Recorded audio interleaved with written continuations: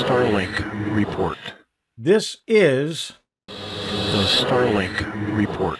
the Starlink report for February 14th, 2022. I'm Hewie Poplock.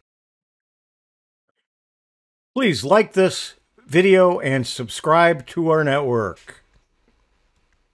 Recent Starlink launches. There was a Starlink launch on January 6th and another on January 18th this year, and then another on February 3rd. But the one on February 3rd, the satellites were affected by a geomagnetic storm, which we're going to talk about in just a moment.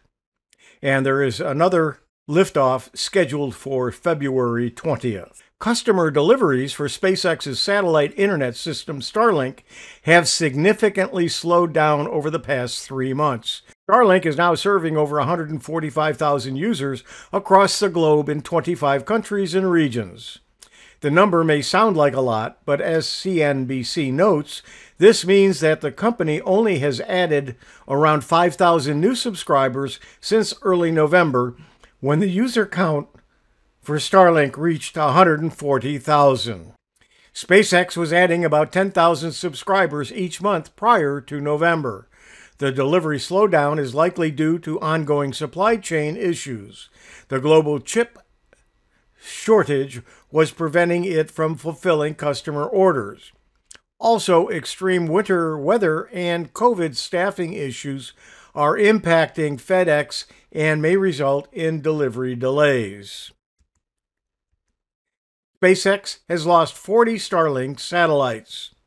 40 Starlink satellites will burn up in a spectacular fireball and get destroyed in the Earth's atmosphere, ending their brief lives after being launched on February 3rd.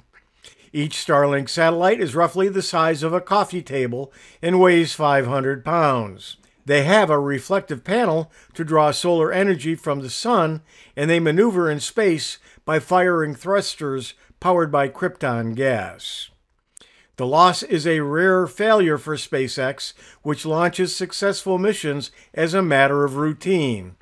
So, what went wrong this time, and how will it affect Starlink users? On Thursday, February 3rd, SpaceX's Falcon 9 rocket launched 49 Starlink satellites. Unfortunately, one day later, the satellites came into contact with a geomagnetic storm. The storm, caused by explosions on the sun's surface, heated the Earth's upper atmosphere and increased air resistance by up to 50% more than usual. Despite the efforts by SpaceX to maneuver the satellites away from the storm and above the Earth's atmosphere into low Earth orbit, 40 of the satellites failed to overcome the increased air resistance and raise their orbits. They fell back into the Earth's atmosphere where they will eventually burn up.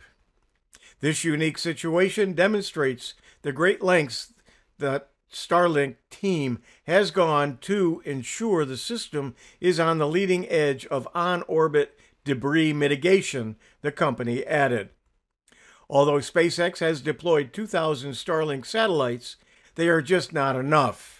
The Starlink speeds have slowed down due to too many customers and too few satellites. The more customers Starlink adds, the slower the speeds will get. This will continue to be the case until Starlink launches more satellites to increase capacity. Therefore, losing 40 satellites only makes the problem worse. Although the loss of 40 Starlink satellites is a blow to SpaceX, it's just a small bump in the road and the price of doing business in space. At times, unpredictable, uncontrollable things will happen. Starlink customers will have to wait a little longer for the increased capacity SpaceX is aiming to deliver, along with the millions of new customers waiting patiently for their chance to use the service. SpaceX has revealed a new tier for its Starlink satellite internet service. It's called Starlink Premium and offers speeds between 150 and 500 megabits with 20 to 40 milliseconds of latency, up from 50 to 250 me- megabits per second with the same latency. Upload speeds are also up from 10 to 20 megabits per second on the standard plan to 20 to 40 megabits per second on the premium.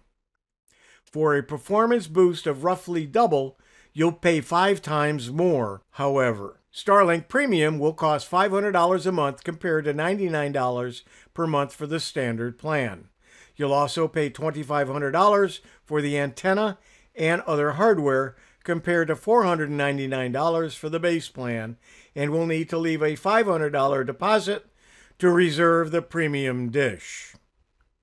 SpaceX said the new service will work better in extreme weather conditions and customers will get priority 24 7 support. It's likely to be the only high speed internet option available in many remote places where the extra weatherproofing could come in handy. SpaceX revealed that Starship could be ready to launch Starlink Gen 2 system satellites as early as next month, March. The next generation satellites are part of SpaceX's Starlink constellation that aims to provide high speed broadband internet service globally. Currently, the Starlink satellites are launched in batches of up to 60 atop a Falcon 9 rocket. The Starship launch vehicle will be capable of deploying up to 400 Starlink satellites during a single launch, which will enable SpaceX to build a constellation at a much faster rate to rapidly expand internet service coverage. This has been The Starlink Report. for February 14th, 2022. I'm Hewie Poplock.